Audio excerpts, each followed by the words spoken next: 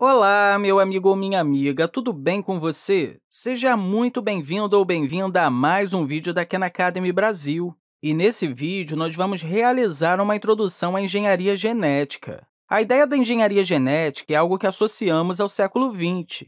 A gente nem sabia o que os genes eram, na verdade, o mecanismo da hereditariedade até meados do século XX. E a modificação direta de genes para algum propósito realmente nem começou a acontecer até a década de 1970. Mas é importante notar que os seres humanos, de certa forma, têm influenciado a genética de organismos por muito, muito, muito tempo. Por exemplo, na natureza, você tem coisas que se parecem com isso. Nós os chamamos de lobos. Mas hoje, em nossas vidas, também temos coisas parecidas com isso. Agora, um detalhe interessante é que esses cães não foram desenvolvidos naturalmente. Eles vieram de muitas gerações de criação, de seres humanos pegando coisas que eram lobos ou raposas e selecionando certas características. Eles podem ter selecionado traços que faziam certos lobos e raposas serem pequenos. E aí eles vão se parecer mais com cachorros, mesmo quando estão totalmente crescidos.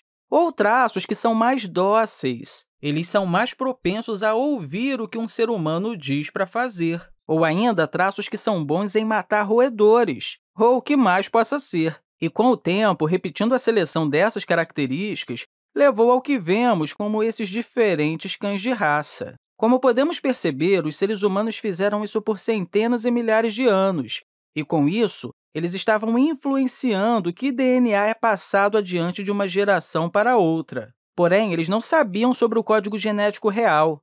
Mas, mesmo assim, isso era uma forma de manipulação genética. Da mesma forma, se você olhar no reino vegetal, quando você vai à loja e você vê aquela doce maçã, há muito tempo atrás, coisas assim, como a gente vê hoje, nem devia existir. É muito provável que muitos dos produtos agrícolas que consumimos hoje possa ter passado por algum processo semelhante. Por exemplo, se a gente estivesse conversando há milhares de anos atrás, a gente teria encontrado maçãs silvestres em macieiras selvagens. Vamos desenhar isso aqui? Vamos desenhar uma macieira aqui rapidinho? As pessoas que viveram há milhares de anos podem ter achado que as maçãs estavam um pouco azedas, pequenas, difíceis de comer e difíceis de digerir. Mas, com o tempo, as pessoas selecionaram as árvores que tinham maçãs mais doces, que tinham maçãs maiores e desenvolveram as condições para que elas fossem mais propensas a se reproduzir. Aí, com o tempo, conseguimos maçãs maiores e mais doces, dessas do tipo que a gente vê no mercado. E como eu mencionei, a maioria dos produtos agrícolas que temos hoje é resultado de centenas ou milhares de anos desse tipo de criação. Então, embora isso possa não ser a definição formal da engenharia genética, que normalmente está se referindo para algo como modificação genética, que nós só fomos capazes de fazer nas últimas décadas, seres humanos estão realizando algum tipo de influência no DNA dos organismos por muito, muito tempo. Mas, com isso dito, nas últimas décadas, nós fomos capazes de nos tornar muito, muito mais precisos na influência do DNA por meio da engenharia genética.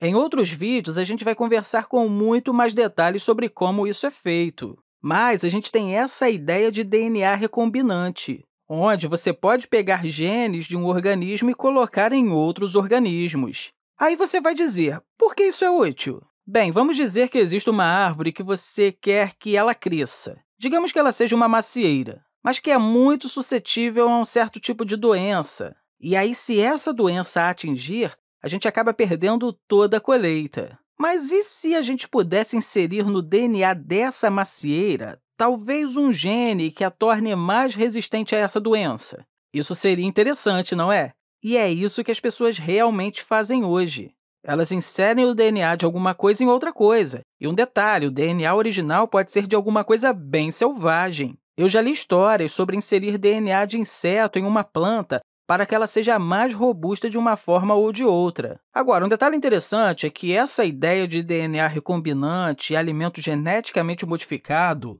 é frequentemente conhecida como organismo geneticamente modificado. Só que isso é um tanto quanto controverso. Muitas pessoas podem chegar e dizer, ei, isso é bom, Isso nos permite produzir alimentos mais robustos. E, na verdade, essa ideia de DNA recombinante, ou seja, de inserir DNA em outra coisa, pode tornar o alimento mais nutritivo, pode fornecer mais vitaminas. Bem, algumas pessoas vão olhar por esse lado, mas tem outras pessoas também que podem chegar e falar o seguinte: olha, a gente não sabe exatamente quais são todas as repercussões do que estamos fazendo e no que isso vai acarretar. Então, assim, a gente pode pensar que é algo útil, mas quando a gente pega o DNA de um organismo e coloca em outro, como que isso vai afetar a nutrição? Ou quais serão os efeitos de longa duração ao comer isso por muito tempo? Bem, isso é algo para você pensar, e é realmente muito importante a gente realizar essas perguntas. Inclusive, com perguntas como essa, surge um campo conhecido como bioética. À medida que temos mais e mais controle sobre o genoma, e especialmente quando vamos para o genoma humano, há perguntas que temos que fazer sobre se isso é bom ou se é ruim. Mas, enfim, voltando a essa ideia da engenharia genética e de DNA recombinante, outras coisas que você poderia fazer é que, por exemplo, podemos produzir insulina para diabéticos. Sabe, que tal a gente pegar aqui uma célula de uma bactéria e inserir na célula da bactéria o gene que ajuda a produzir insulina? Aí, de repente, a célula da bactéria pode se tornar uma fábrica de produção de insulina humana. Essa insulina pode ser colhida e aí teremos mais insulina para diabéticos. Esse é um uso muito interessante de DNA recombinante. Enfim, meu amigo ou minha amiga, estamos realmente indo para um período interessante da humanidade. Por milhares de anos, a gente estava criando coisas, mas agora estamos aprendendo a manipular coisas em um nível de um grão muito fino. E isso nos faz realizar todos os tipos de perguntas.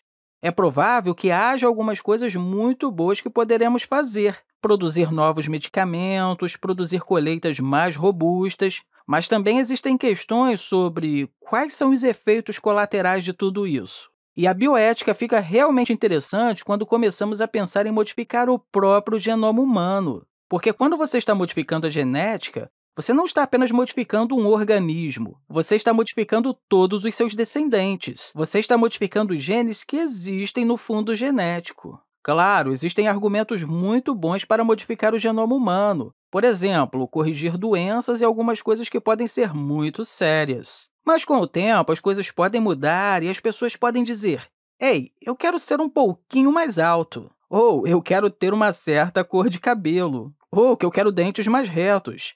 Ou ainda podem ter pessoas que vão dizer o seguinte: eu quero um filho que tenha esse ou aquele traço. Enfim, as coisas ficam muito, muito interessantes quanto mais pensamos sobre o que a engenharia genética pode fazer. Eu espero que você tenha compreendido toda essa introdução que eu fiz aqui e, mais uma vez, eu quero deixar para você um grande abraço e falar que te encontro na próxima!